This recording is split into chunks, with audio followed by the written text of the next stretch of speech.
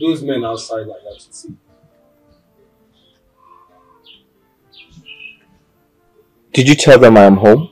No, sir. Alright. I don't feel like seeing anybody today.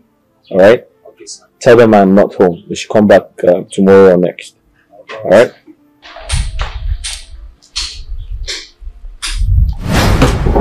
Good morning, sir. We are men from Economic Financial Control Commission. We are under arrest for cybercrime and fraudulent related issues.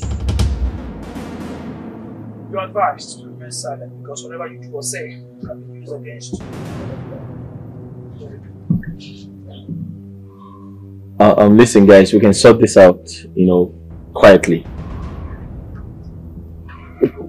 Can I at least drive my car? I'm sorry you don't have that privilege. You have to join us in our account. Now move it.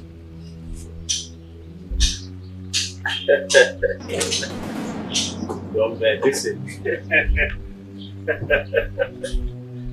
um, listen, calm down. Don't.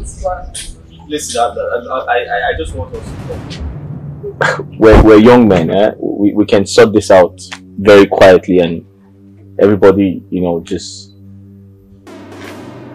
Zukwanike. Aguzuike. Listen, let, let's sort this out, alright? I'll give you guys five million. Move it! Listen, I, I know we see this every day, okay? I, I'll give you guys. Okay, I'll make it 10 million. 10 million. I mean, 10 million is enough money for you guys. Listen, I'll give you guys 15 million, alright? Three of you, 5 million each to go round.